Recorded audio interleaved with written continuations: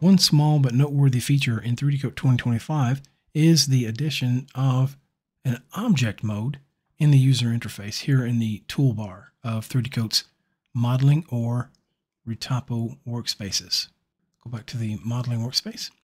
Previously, what you would have to do is switch to something like the faces mode, and you could double tap to select an object that way.